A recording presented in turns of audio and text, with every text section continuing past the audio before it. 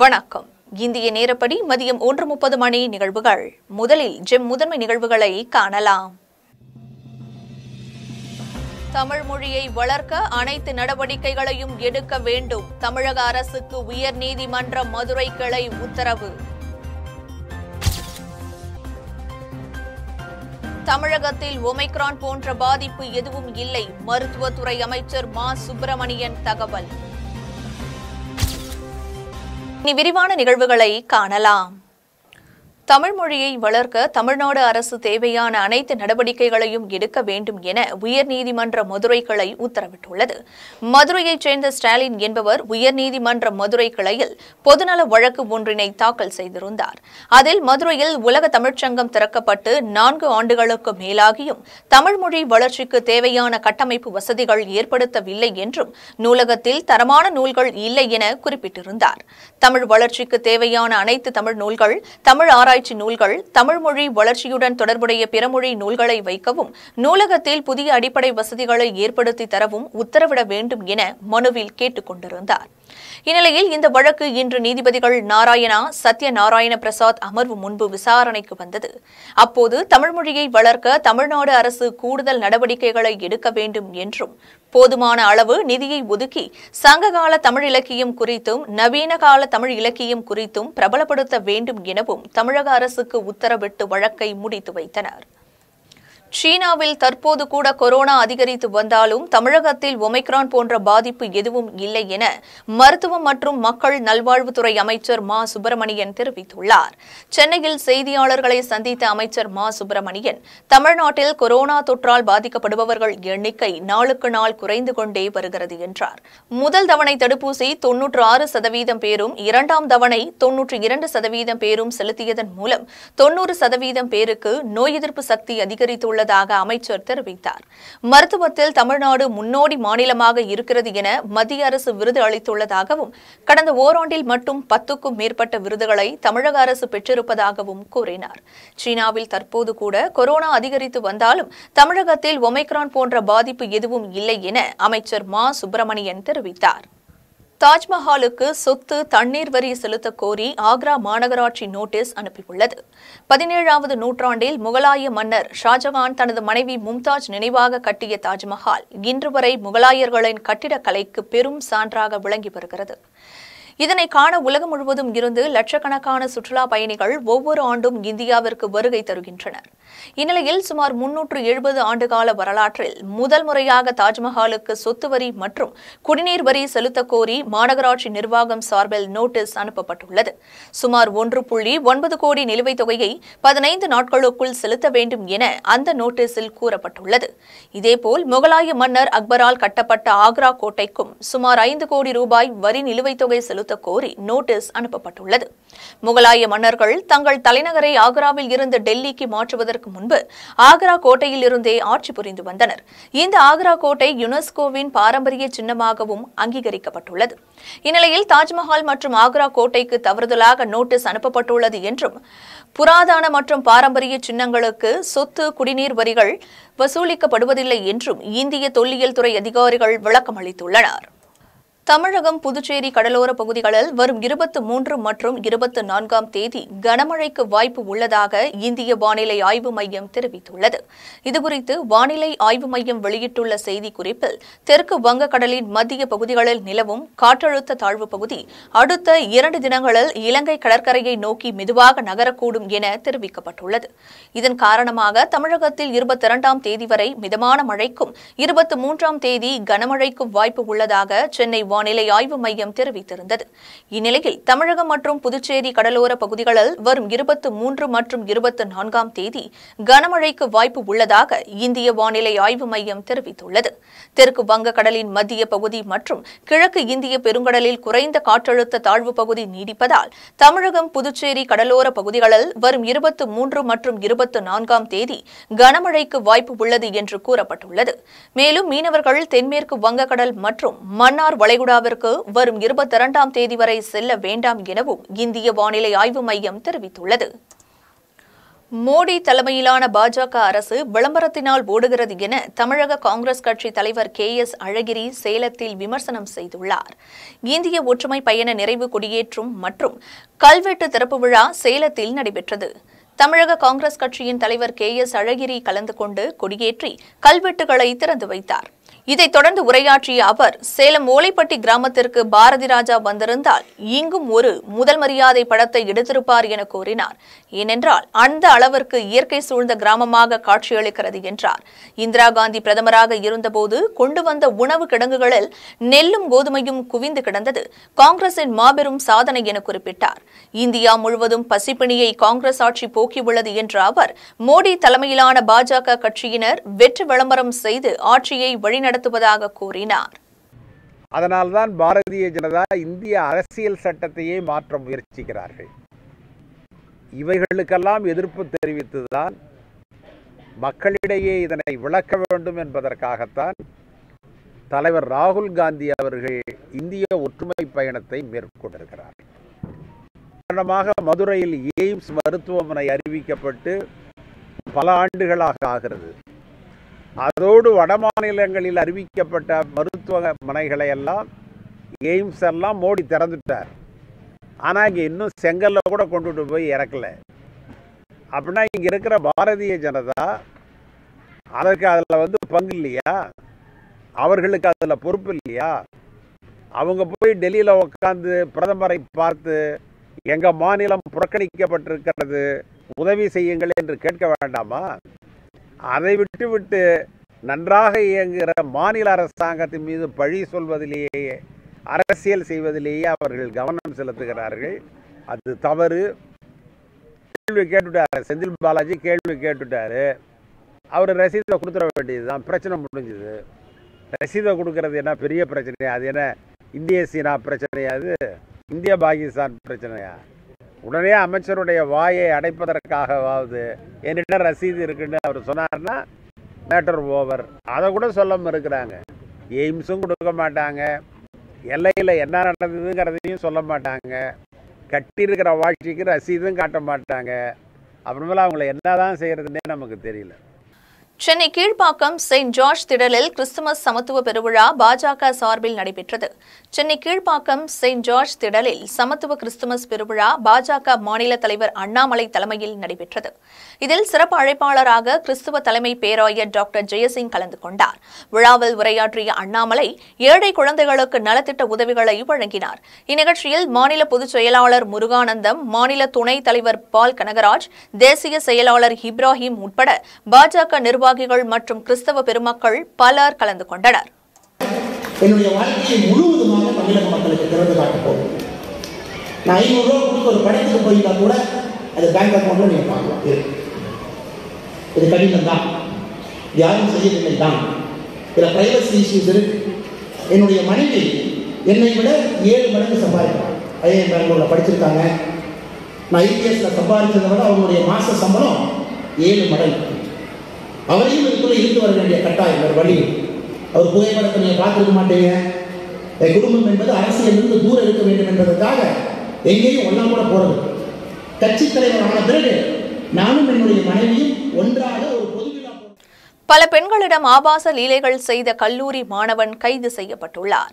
வடசென்னை திருவொற்றியூர் அம்பேத்கர் நகர் பகுதியில் வசித்து வரும் கல்லூரி மாணவி ஒருவர் அரசு மகளிர் கலை கல்லூரியில் இரண்டாம் ஆண்டு பயின்று வருகிறார். இவருக்கு அதே பகுதியைச் சேர்ந்த பரத் என்ற நபரோடு பழக்கம் ஏற்பட்டுள்ளது. இந்நிலையில் வாட்ஸ்அப்பில் இருவரும் பேசி வந்த நிலையில் வீட்டில் யாரும் இல்லாத நேரத்தில் கல்லூரி மாணவிக்கு பரத் வீடியோ கால் செய்து ஆபாசமாக பேசியதாக தெரிகிறது. மாணவி காவல் நிலையத்தில் புகார் அளித்ததன் பேரில் திருவொற்றியூர் போலீசார் பரத்தை கைது செய்து சிறையில் அடைத்தனர். கோவை ஜெயலலிதாவின் அறிக்கையை சுய பரிசோதனை செய்து கொள்ளலாம் என கோவையில் நீதியரசர் ஆறுமுகசாமி தெரிவித்துள்ளார். கோயம்புத்தூர் வழக்கறிஞர்கள் சங்கத்தின் சார்பில் நீதிமன்ற வளாகத்தில் மறைந்த மூத்த வழக்கறிஞர் நடன சபாபதியின் திருவுருவப் படம் திறக்கப்பட்டு மரியாதை செலுத்தப்பட்டது. இந்நிகழ்வில் சிறப்பு விருந்தினராக நீதியரசர் ஆறுமுகசாமி கலந்து கொண்டு அவரது அனுபவங்களை பகிர்ந்து கொண்டு அறிவுரை வழங்கினார். பின்னர் செய்தியாளர்களை சந்தித்த அவர் ஜெயலலிதாவின் அறிக்கையை சுய பரிசோதனை செய்து கொள்ளலாம் என தெரிவித்தார். அறுபத்தி எட்டு வயது. அந்த அம்மாவனுடைய height five feet weight hundred kgs sugar அந்த டைமில் அட்மிட் ஆகும்போது இரநூத்தி இருபத்தி எட்டு மில்லிகிராம் பிபி அதே மாதிரி நூற்றி இருபது சாரி ஆமாம் நூற்றி இருபது. பிபி நூற்றி அறுபது இருந்தது. கிரியாட்டின் பாயிண்ட் எயிட் டூ இருந்தது. அவங்க ஒபிசிட்டி சுகர் பிபி இதற்கு சர்ஜரி செய்யலாமா அப்படிங்கிறது தான் பாயிண்ட்டு இதை நீங்களே சுய பரிசோதனை செய்து கொள்ளுங்கள் என்று சொன்னேன். ஒரு லேப்டாப்பில் உட்காருங்க இதை எழுதுங்க இதை கம்ப்யூட்டர் அடியுங்க இதே மாதிரி ஒருவர் உயிருடன் இருப்பது போல ஒரு மருத்துவரை வைத்து உலகத்தில் உள்ள எந்த மருத்துவமனையில் வேண்டுமானாலும் கேட்டு பாருங்கள் முடிவு எதாக இருக்கும் என்பதை வைத்து நீங்களே இதனுடைய ஆய்வினுடைய இந்த அறிக்கையை நீங்களே பரிசோதனை செய்து கொள்ளலாம். திருச்சியில் உள்ள சிவாலயத்தில் எட்டாம் ஆண்டாக திருவிளக்கு பூஜை வெகு விமர்சையாக நடைபெற்றது. திருச்சி மாவட்டம் முசிறி வட்டம் தாப்பேட்டையில் காசி விசாலாட்சி உடனுரை காசி விஸ்வநாதர் சிவாலயம் அமைந்துள்ளது.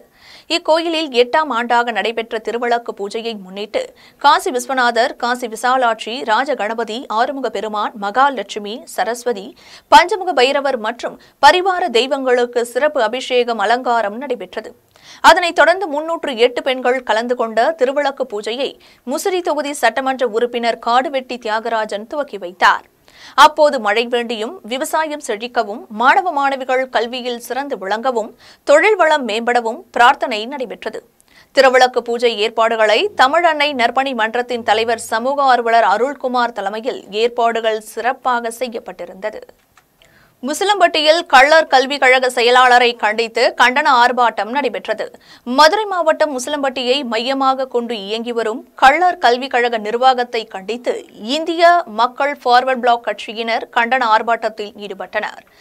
கள்ளார் கல்விக் கழக தலைவர் பாலகிருஷ்ணன் தலைமையில் நடைபெற்ற இந்த ஆர்ப்பாட்டத்தில் கள்ளார் கல்விக் கழக நிர்வாகத்தில் சமீப காலமாக பல்வேறு குளறுபடிகள் நடைபெற்று வருவதாகவும் பிற்படுத்தப்பட்ட மக்களின் நலனுக்காக உருவாக்கப்பட்ட கள்ளர் கல்விக் கழகத்தை அழிக்கும் நோக்கில் செயலாளர் வாலாந்தூர் பாண்டி மற்றும் நிர்வாகிகள் செயல்படுவதாக குற்றம் சாட்டி கோஷங்களை எழுப்பினார். அரியலூரில் இலவச வீட்டுமனை வழங்கக் கோரி கிராம மக்கள் மாவட்ட ஆட்சியரிடம் மனு அளித்தனர். அரியலூர் மாவட்டம் மணக்குடையான் கிராமத்தில் உள்ள ஐநூறுக்கும் மேற்பட்ட குடும்பத்தினருக்கு வீட்டுமனை இல்லாததால் குறுகிய இடத்தில் கடந்த இருபது ஆண்டுகளாக வசித்து வருகின்றனர். இதனால் குடிநீர் உள்ளிட்ட அடிப்படை வசதிகள் இன்றி பாதிக்கப்பட்டுள்ளதாகவும் வீட்டுமனை வழங்க வலியுறுத்தி பல ஆண்டுகளாக மாவட்ட நிர்வாகத்திடம் மனு அளித்தும் இதுவரை நடவடிக்கை எடுக்கவில்லை என்றும் கூறப்படுகிறது. இதனையடுத்து இதுகுறித்து மாவட்ட ஆட்சியர் ரமண சரஸ்வதியிடம் நூற்றுக்கும் மேற்பட்டோர் மனு அளித்தனர். அந்த மனுவில் புறம்போக்கு இடத்தில் வீட்டுமனை இல்லாத மக்களுக்கு இலவச வீட்டுமனை வழங்க வேண்டும் என தெரிவித்துள்ளனர். ஆதி திராவிடர் தெருவில் மட்டும் தொண்ணூறுக்கும் மேற்பட்ட குடும்பங்கள் நாங்கள் வசித்து வருகிறோம். கிட்டத்தட்ட முப்பது ஆண்டுகளுக்கு மேலாக நாங்கள் இடப்பற்றாக்குறையால் நெருக்கடிக்கு உள்ளாகி இருக்கிறோம். சுற்றுப்புற பகுதிகள் எல்லாமே மைன்ஸ் பகுதிகளாக ஆக்கப்பட்டதுன்னா எங்களுக்கு மிகவும் காற்று மாசுபாடு நீர் மாசுபாடு அனைத்தும் உள்ளது. அதனால் எங்களுக்கு சரியான ஒரு வீட்டுமனை பகுதியை ஒதுக்கி எங்களுக்கு இட நெ- நெ- நெருக்கடியை சீர் செய்ய ஒரு நடவடிக்கை எடுத்தால் மிகவும் நன்றாக இருக்கும் என அரியலூர் மாவட்ட ஆட்சித்தலைவர் அவர்களே கேட்டுக்கொள்கிறோம். உசிலம்பட்டியில் அகில இந்திய ஃபார்வர்ட் பிளாக் தொழிற்சங்கம் சார்பாக கண்டன ஆர்ப்பாட்டம் நடைபெற்றது. மதுரை மாவட்டம் உசிலம்பட்டி பசும்பொன் முத்துராமலிங்க தேவர் சிலை அருகே அகில இந்திய ஃபார்வர்ட் பிளாக் தொழிற்சங்கம் சார்பாக ஒன்றிய மோடி அரசை கண்டித்து கண்டன ஆர்ப்பாட்டம் நடைபெற்றது. ஃபார்வர்ட் பிளாக் மாநில பொதுச் செயலாளர் கதிரவன் தலைமையில் நடைபெற்ற இந்த ஆர்ப்பாட்டத்தில் தொழிற்சங்க மாநில செயலாளர் திருப்பதி மற்றும் அகில இந்திய ஃபார்வர்ட் பிளாக் கட்சி நிர்வாகிகள் பலர் கலந்து கொண்டனர். ஆர்ப்பாட்டத்தில் ஒன்றிய மோடி அரசை கண்டித்தும் விலைவாசி உயர்வு தொழிலாளர்களுக்கு பழைய பென்ஷனை அமல்படுத்த வலியுறுத்தியும் ஆர்ப்பாட்டத்தில் ஈடுபட்டனர். அரியலூரில் நடைபெற்ற மின் சிக்கன வார விழிப்புணர்வு பேரணியில் மின்வாரிய உயர் அதிகாரிகள் மற்றும் பணியாளர்கள் ஏராளமானோர் கலந்து கொண்டனர். தமிழ்நாடு மின் உற்பத்தி மற்றும் மின் பகிர்மான கழகம் வழிகாட்டுதல் படி அரியலூர் மாவட்டத்தில் மின் சிக்கன வார விழிப்புணர்வு பேரணி நடைபெற்றது. அண்ணா சிலையில் தொடங்கிய இந்த பேரணி முக்கிய வீதிகளின் வழியாக கடைவீதி மற்றும் முக்கிய வீதிகள் வழியாக பேரணியாக சென்று ஒற்றுமை திடலில் நிறைவடைந்தது. பேரணியில் தரமான மின் பொருட்களை உபயோகிப்போம் சூரிய ஒளி ஆற்றலை பயன்படுத்துவோம் இயற்கை காற்றை பயன்படுத்துவோம் என கோஷங்கள் எழுப்பினர். இதில் மின்வாரிய உயர் அதிகாரிகள் மற்றும் பணியாளர்கள் ஏராளமானோர் கலந்து கொண்டு மின் சிக்கனத்திற்கான எளிய வழிமுறைகள் மற்றும் இலவச சேவை எண் அடங்கிய நோட்டீஸுகளை பொதுமக்கள் மற்றும் வணிக நிறுவனங்களுக்கு வழங்கினர். தமிழக அரசு தடை செய்யப்பட்ட பூச்சிக்கொல்லி மருந்துகள் விற்கப்படுவதாக தெரிவித்து விவசாயிகள் நூதன ஆர்ப்பாட்டத்தில் ஈடுபட்டனர். அசிபேட் மோனோக்ரோட்டோபஸ் குளோர் பைரிபாஸ் உள்ளிட்ட ஆறு பூச்சிக்கொல்லி மருந்துகளை அறுபது நாட்களுக்கு தடை செய்து தமிழக அரசு அரசாணை வெளியிட்டிருந்தது. இந்நிலையில் தடை செய்யப்பட்ட பூச்சிக்கொல்லி மருந்துகள் உரக்கடைகளில் விற்பனை செய்யப்படுவதாகவும் வேளாண் துறை அதிகாரிகள் இதனை தடுக்க கள ஆய்வு மேற்கொள்ளவில்லை என குற்றம் சாட்டி திருவண்ணாமலை மாவட்ட ஆட்சியர் அலுவலகம் முன்பு குரங்கு வித்தை செய்து நூதன ஆர்ப்பாட்டத்தில் ஈடுபட்டனர். தடை செய்யப்பட்ட மருந்துகளை விற்பனை செய்யும் கடைகள் மீது உடனடியாக நடவடிக்கை எடுத்து கடையின் உரிமத்தை ரத்து செய்ய வேண்டும் எனவும் வலியுறுத்தினர். ஆறு பூச்சிக்கொல்லிகளுக்கு தடை செய்கிறது. தற்போது பத்து நாள் கடந்த நிலையிலும் இன்னும் கள ஆய்வு செய்யவில்லை. உரக்கடைகளில் மோனோக்ரோட்டோபாஸ் குளோரிஃபைரிபாஸ் ப்ரொபன்னாபாஸ் போன்ற மருந்துகள் இன்னும் தடை செய்தும் வந்து விற்பனையாகிறது. கடந்த காலங்களில் கலப்பட மருந்து பயோ உரங்கள்லாம் நாங்கள் தடை செய்யணும்னு சொல்லியும் வேளாண் துறை கண்டுக்கல. வேளாண் துறையும் உர வியாபாரிகளும் கூட்டாக சேர்ந்து விவசாயிகள் அருகே செல்லும் பொழுது எங்கள் வாயில வவுத்தராட்சின்னு போகிற மாதிரி வந்து பார்த்தா பெரிய வித்தியை காட்டாங்க வேளாண் துறையும். தனியார் உரக்கடைக்காரர்களும். ஆகவே தான் தடை செய்த மருந்துகளுக்கு கடைகளுக்கு மொத்தம் வந்து லைசன்ஸ் கேன்சல் பண்ணணும். உடனடியாக செயல்படுத்த வேண்டும். தமிழக அரசு உத்தரவுக்கு வேளாண் துறை செயல்படவில்லை. எங்கும் தாராளமாக இந்த பாசு சைபர் மித்தின் போன்ற மருந்துகள் தாராளமாக கிடைக்குது. தற்கொலை செய்வதற்கு வசதியாக இந்த மருந்து தடை செய்யணும்னு சொல்லும்போது அரசனுடைய உத்தரவிற்கு வேளாண் துறை நிர்வாகம் கட்டுப்படவில்லை. பல இடங்களில் கலப்பட யூரியாவும் பயோ உரங்களும் திணிக்கப்படுகிறது. அது மட்டும் இல்லாமல் தற்போது பத்து நாளாக தடை போட்ட இந்த மருந்து தாராளமாக கிடைக்குது. வேளாண் துறை நடவடிக்கை எடுக்கவில்லை என்பதற்காகத்தான் ராயபுரம் அருகே இருசக்கர வாகனத்தில் இருபது கிலோ கஞ்சா கடத்தி வந்த நபரை போலீசார் கைது செய்தனர். வடசென்னை ராயபுரம் பகுதியில் அமைந்துள்ள என்ஆர்டி பாலம் அருகே நபர் ஒருவர் கஞ்சா கடத்தி வருவதாக வண்ணாரப்பேட்டை மதுவிலக்கு அமலாக்க பிரிவு போலீசாருக்கு தகவல் கிடைத்தது. தகவலின் பேரில் அப்பகுதியில் போலீசார் வாகன சோதனையில் ஈடுபட்டனர். அப்போது அவ்வழியாக இருசக்கர வாகனத்தில் வந்த நபரை பிடித்து விசாரணை செய்ததில் பம்மல் பகுதியைச் சேர்ந்த உமாசங்கர் என்பதும் அவரது பையில் சுமார் இருபது கிலோ கஞ்சா இருப்பதும் தெரியவந்தது. இதனையடுத்து அவரை கைது செய்த போலீசார் அவரிடம் இருந்து இருபது கிலோ கஞ்சா மற்றும் கடத்தலுக்கு பயன்படுத்திய இருசக்கர வாகனத்தை பறிமுதல் செய்து அவரை சிறையில் அடைத்தனர். கரூர் மாவட்ட ஊராட்சி குழு துணைத் தலைவருக்கான மறைமுக தேர்தல் நடந்து முடிந்தது.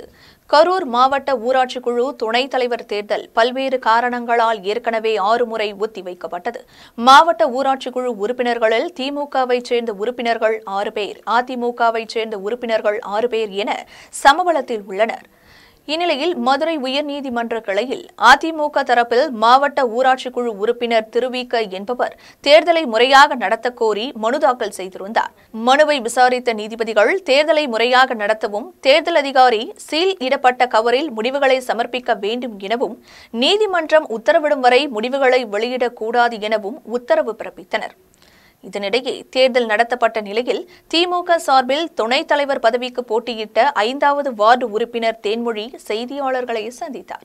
அப்போது தனக்கு ஏழு வாக்குகள் கிடைத்து வெற்றி பெற்றதாகவும் அதிமுக தரப்பிற்கு நான்கு வாக்குகள் மட்டுமே அளிக்கப்பட்டதாகவும் மாவட்ட ஆட்சியர் தெரிவித்ததாக கூறினார். தேர்தல் முடிவுகளை அறிவிக்க கூடாது என நீதிமன்றம் உத்தரவிட்ட பிறகும் தேர்தல் அலுவலரான மாவட்ட ஆட்சியர் அது குறித்த குறிப்புகளை வெளியிட்டதால் பரபரப்பு ஏற்பட்டுள்ளது. நாகை அருகே தொடர் திருட்டு சம்பவம் குறித்து கிராமமே திரண்டு காவல் கண்காணிப்பாளர் அலுவலகத்தில் மனு அளித்தனர். நாகப்பட்டினம் மாவட்டம் வேளாங்கண்ணி அடுத்துள்ள பிரதபா ராமபுரம் கிராமத்தில் கடந்த பத்து தினங்களாக தொடர் திருட்டு மற்றும் வழிப்பறி சம்பவங்கள் நடைபெற்று வருவதால் அப்பகுதி மக்கள் பெரும் அச்சமடைந்துள்ளனர். புகார் அளித்தும் கொள்ளை சம்பவங்கள் நடைபெற்று வருவதால் பாதிக்கப்பட்ட கிராம மக்கள் மாவட்ட காவல்துறை கண்காணிப்பாளர் அலுவலகம் முன்பு போராட்டத்தில் ஈடுபட்டனர். அதனைத் தொடர்ந்து திருட்டு சம்பவம் நடந்த இடத்திற்கு விரைந்து எஸ்பி நேரடியாக ஆய்வு மேற்கொண்டார். மோப்ப நாய்கள் மற்றும் கைரேகை நிபுணர்கள் வரவழைக்கப்பட்டு அந்த பகுதியில் சோதனை மேற்கொள்ளப்பட்டது. சாராயத்தை ஒழித்தால் நிச்சயம் திருட்டும் குறையும் எனவும் காவல் நிலையம் சென்று புகார் அளித்தால் கண்டுகொள்வதில்லை எனவும் பொதுமக்கள் வேதனை தெரிவித்தனர். விருதாச்சலத்தில் திமுக அரசை கண்டித்து பாஜக சார்பில் கண்டன ஆர்ப்பாட்டம் நடைபெற்றது. கடலூர் மாவட்டம் விருதாச்சலம் பேருந்து நிலையம் அருகில் பாரதிய ஜனதா கட்சியின் சார்பில் நெடுஞ்சாலைத் துறையின் மூலமாக சாலை விரிவாக்கம் மற்றும் கழிவுநீர் கால்வாய் அமைக்கும் பணி நடைபெற்று வருகிறது. இந்த பணியானது ஆலடி சாலையில் இருந்து பேருந்து நிலையம் வரை ஆக்கிரமிப்புகளை அகற்றாமலும் சாலையை விரிவாக்கம் செய்யாமலும் சாலை அமைக்கப்படுவதால் அப்பகுதி மிகவும் குறுகலாக காணப்படுகிறது. இதனால் விபத்துகள் ஏற்படும் நிலையும் ஏற்பட்டுள்ளது. இதனையடுத்து கட்டிடங்களை அகற்றிவிட்டு சாலையை விரிவாக்கம் செய்து கழிவுநீர் வாய்க்கால் அமைக்க கோரி பாஜக சார்பில் திமுக அரசை கண்டித்து கண்டன ஆர்ப்பாட்டம் நடைபெற்றது. கடலூர் மேற்கு மாவட்ட செயலாளர் செந்தில்குமார் தலைமையில் நடைபெற்ற இந்த ஆர்ப்பாட்டத்தில் மாவட்ட செயலாளர் செல்வராஜ் நாராயணன் உள்ளிட்ட ஏராளமான கட்சியினர் கலந்து கொண்டு கண்டன முழக்கங்களை எழுப்பினர். சென்னையில் இன்று ஆபரண தங்கத்தின் விலை சவரன் முப்பத்து ஒன்பதாயிரத்து அறுநூற்று எண்பது ரூபாய்க்கு விற்பனை செய்யப்படுகிறது. சென்னையில் கடந்த சில நாட்களாக தங்க விலை ஏற்ற இறக்கத்துடன் காணப்பட்டு வருகிறது. இந்நிலையில் இன்று தங்கத்தின் விலை நேற்றைய விலையில் இருந்து எந்தவித மாற்றம் இல்லாமல் ஒரு கிராம் ஆபரண தங்கத்தின் விலை நான்கு ஆயிரத்து தொள்ளாயிரத்து அறுபது ரூபாய்க்கு விற்பனை செய்யப்படுகிறது. ஒரு சவரன் முப்பத்து ஒன்பதாயிரத்து அறுநூற்று எண்பது ரூபாய்க்கு விற்பனை செய்யப்படுகிறது. இருபத்து நான்கு கேரட் தூய தங்கம் ஒரு சவரன் நாற்பத்து மூன்றாயிரத்து இருநூற்று எண்பத்தெட்டு ரூபாய்க்கு விற்பனை செய்யப்படுகிறது. இதேபோல் ஒரு கிராம் வெள்ளி அறுபத்து ஒன்பது ரூபாய் முப்பது காசுகளுக்கும் ஒரு கிலோ வெள்ளி அறுபத்து ஒன்பதாயிரத்து முன்னூறு ரூபாய்க்கும் விற்பனை செய்யப்படுகிறது. மும்பை பங்குச்சந்தை இன்று சரிவுடன் தொடங்கியது. மும்பை பங்குச்சந்தை குறியீட்டு எண் சென்செக்ஸ் ஐநூற்று ஆறு புள்ளிகள் குறைந்து அறுபத்து ஓராயிரத்து முன்னூறு புள்ளிகளில் வர்த்தகமாகிறது. தேசிய பங்குச்சந்தை குறியீட்டு எண் நிப்டி நூற்று ஐம்பத்தெட்டு புள்ளிகள் குறைந்து பதினெட்டு ஆயிரத்து இருநூற்று அறுபத்து மூன்று புள்ளிகளில் வர்த்தகமாகி வருகிறது. மீண்டும் ஜெம் முதன்மை நிகழ்வுகள். தமிழ் மொழியை வளர்க்க அனைத்து நடவடிக்கைகளையும் எடுக்க வேண்டும். தமிழக அரசுக்கு உயர்நீதிமன்ற மதுரை கிளை உத்தரவு. இத்துடன் ஜெம் நிகழ்வுகள் நிறைவடைகின்றன. மீண்டும் நிகழ்வுகளை காண இணைந்திருங்கள் ஜெம் தொலைக்காட்சியுடன். நன்றி வணக்கம்.